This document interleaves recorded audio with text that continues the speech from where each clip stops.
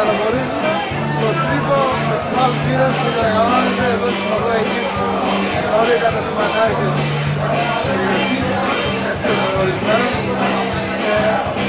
Κανόνουμε για τρίτη χρονιά από τις οικονομικές πάλι αυτό το φεστιβάλ. Και όπως πάμε δηλαδή, κάθε χρόνο γίνεται ακόμη και καλύτερο. Όπως ακόμη βλέπουμε υπάρχει από την πρώτη τώρα μέρα μεγάλη προσέλευση τους κοινού και βέβαια την αποχωρήπωση με τις παραγγελίες του Σαββάτου. Ελπίζω να περάσετε καλά, ευχαριστούμε πάρα πολύ.